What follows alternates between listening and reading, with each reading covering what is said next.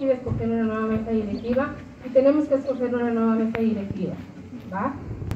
¿Se puede una mesa interina? ayer, a ver, para finalizar ya con este tema, Sí, claro. señor notario como perito en derecho, no se aprobó.